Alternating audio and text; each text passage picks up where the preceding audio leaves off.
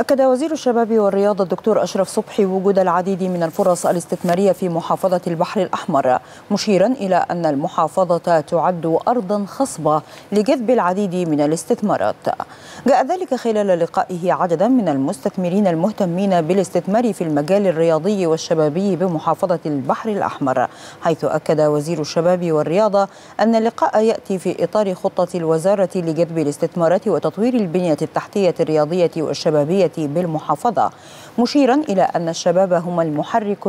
الأساسي للتنمية وأن الوزارة تعمل على توفير بيئة جاذبة للاستثمار لخدمة هذا القطاع الحيوي